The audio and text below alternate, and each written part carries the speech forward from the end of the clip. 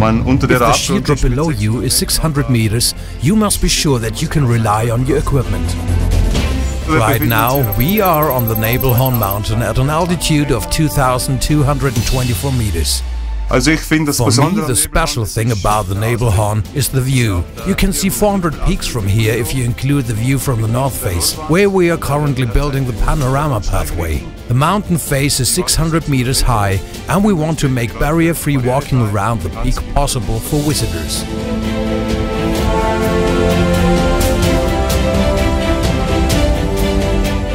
We are a civil engineering company specialized in high altitude construction. 500 cubic meters of concrete were transported up to the peak. We needed 1,500 flights for this.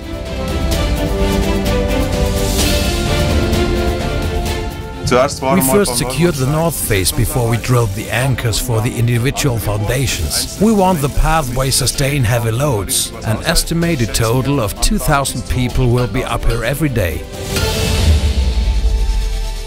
Ich bin hier oben der I am the foreman here and in charge of all the workers. Safety is, of course, a central significance for us.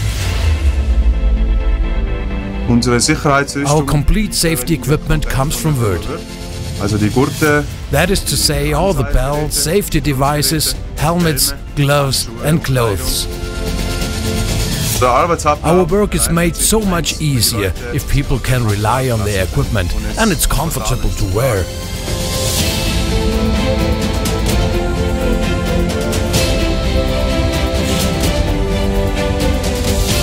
This makes work much more fun.